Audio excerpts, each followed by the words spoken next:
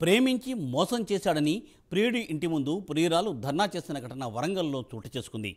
పట్టణంలోని బట్టల బజార్ నీలా టెక్స్టైల్స్ యజమాని పుల్లూరు గోవిందరాజు తన పెళ్ళి చేసుకుంటానని నమ్మించి రెండుసార్లు అబార్షన్ చేయించారని బాధితురాలు ఆవేదన చెందింది. ఎన్నిసార్లు పెళ్ళి చేసుకోమని అడిగినా మాట దాటవేయడంతో పోలీసులను ఆశ్రయించానని చెప్పింది. అయితే పోలీసులు ముందు కలిసి ఉంటారని మాట ఇచ్చి ఇప్పుడు ఇంటికి తాళం వేసి వెళ్ళిపోయారని వాపోయింది ఆమె. తనకు న్యాయం చేయాలంటూ బాధిత యువతి వేడుకుంటోంది.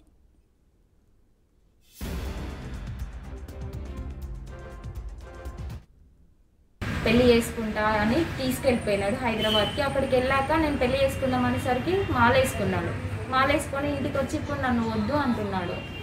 ఇప్పుడు దానికి నేను నాకు న్యాయం కావాలని నేను ఇప్పుడు వచ్చి వాళ్ళ ఇంటి ముందు వచ్చినాను దీనికి నాకు నాకు ఇప్పుడు ఎవరు సపోర్ట్ చేయడానికి లేదు. నాకు మీ అందరు సపోర్ట్ కావాలి.